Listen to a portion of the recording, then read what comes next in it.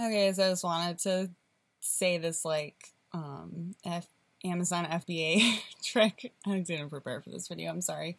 Uh anyway, um for pricing, for automating pricing. So you know how when you do like a pricing rule where you're just gonna beat the lowest price by like a penny or something all the time? Well, like let's say the lowest price one that was dragging down your price by that rule like sells before yours does and maybe there's like a $40 gap between that price, which is now your price, and the next up price, but the pricing rule doesn't shoot yours up to be one below the highest price.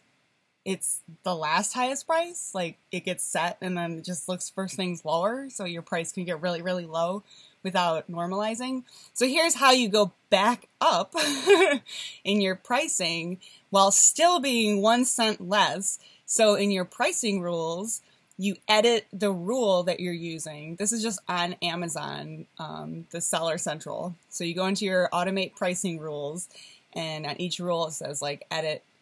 So you click the edit thing and then have change the rule so that it's instead of one cent below the lowest price, change it so it's one cent above the lowest price. Save it give it like 15 minutes or something, or however long it's going to take to like fix all your prices. So you're not going to be the lowest price, but your prices are all going to go back up to what the lowest price was plus a penny. And then, then you change your pricing rule again so that it's one cent below the lowest price again.